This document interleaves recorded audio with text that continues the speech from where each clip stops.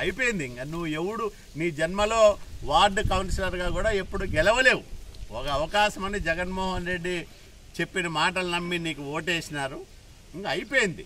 ఇంకా ఇంకా నువ్వు ఫస్ట్ టికెట్ తెచ్చుకోవడానికి ప్రయత్నం చేయగాని ఈడ తెలుగుదేశం పార్టీ కార్యకర్తల జోలికి వస్తే మాత్రం నీ తాట తీస్తా.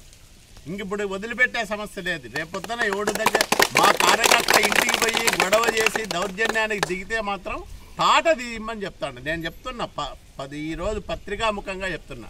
కాపు రామచంద్రారెడ్డి తెలుగుదేశం పార్టీ వాళ్ళ జోలికి వస్తే మన పార్టీ కార్యకర్తల ఇళ్ళ దగ్గరికి వచ్చి దౌర్జన్యం చేస్తే తాట తీసి పంపిండి నేను కాపాడుకుంటానని చెప్తా ఉన్నా. కాపు రామచంద్రారెడ్డి. ఇంకా నీ ఆటలు సాగవు. నువ్వు ఇట్లాంటి చిల్లర పనులు చెత్త పనులు చేస్తే నిన్ను బహిరంగంగా ప్రపంచం ముందు నిలబెట్టి నీ దుర్మార్గాల్ని దౌర్జన్యాన్ని నీ నీచ సంస్కృతిని ప్రజలకు చెప్పేదానికి తెలుగుదేశం పార్టీ ఎప్పుడు వెనకాడబోదు. అందులో మేము రాయదుర్గంలో తగ్గే సమస్య లేదు.